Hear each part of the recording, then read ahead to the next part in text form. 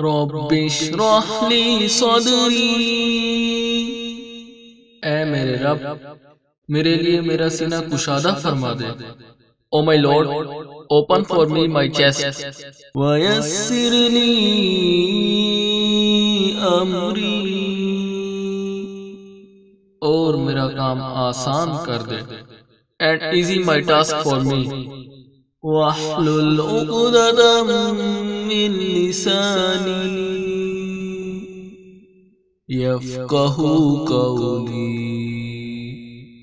اور میری زبان کی گرہ کھول دے تاکہ وہ میری بات سمجھ سکے۔ And make loose the knot from my tongue that they understand my speech